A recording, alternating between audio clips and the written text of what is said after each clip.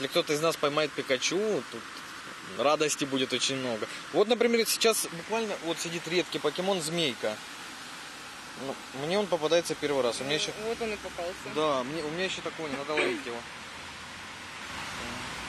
Тут за редкого покемона дают сразу больше опыта. Поймала? Да. Они ловят покемонов даже во время интервью. Уже третью неделю Станислав и Ирина Иванские не расстаются с телефонами. Каждый день супруги на несколько часов из реальной жизни уходят в виртуальную. Отслеживают мультяшных персонажей. День охоты – минимум 50 покемонов. Да, мы соревнуемся, кто больше, у кого лучше, или у кого больше вылупится. Но пока вот жена лидирует.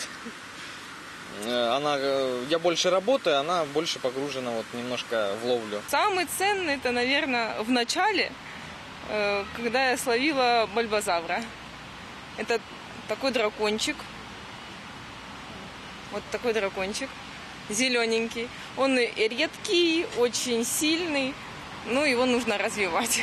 Бальбазавры, черезавры, пикачу, покеболы. Супруги понимают друг друга с полуслова. Станислав уверяет, таких увлеченных только в его группе в соцсети почти 500 человек. Это со стороны кажется, что мужчина идет и ничего не видит вокруг. Окружающая обстановка отражается на экране его телефона. С одним лишь «но» – с виртуальными покемонами.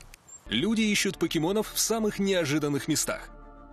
Кладбища, мемориалы, церкви, больницы, границы государств – это всего лишь малая часть странных мест, в которых люди пытаются найти покемонов. После таких роликов в интернете редкий обладатель гаджета не знает про виртуальных монстров. В стране покемономания только набирает обороты, а в Липецке уже решили дать отпор виртуальной забаве. Здесь ловцам покемонов совсем не рады. С порога разворот-поворот. Одна из гостей наших, моя подруга, сказала, что, ребят, запретите их вообще.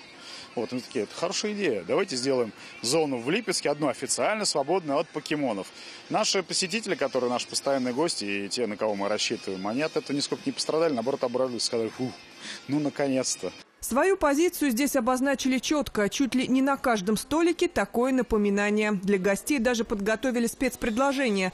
В барной карте появился коктейль с говорящим названием «Слезы покемона». Мы решили немного поимпровизировать и сделать коктейль именно такого же почти цвета, как сам Пикачу. Покемонам нельзя, бедный Пикачу.